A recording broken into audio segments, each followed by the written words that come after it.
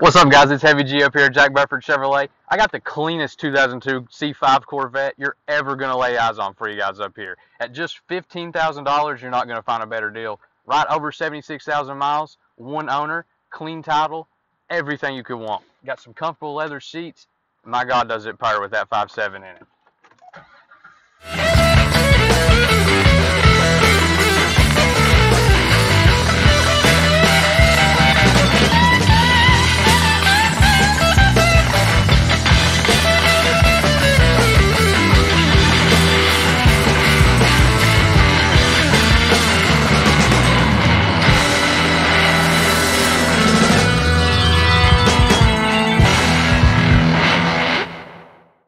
Y'all make sure right up see us. Check this beautiful Corvette out. Jack Burford Chevrolet right across from Walmart.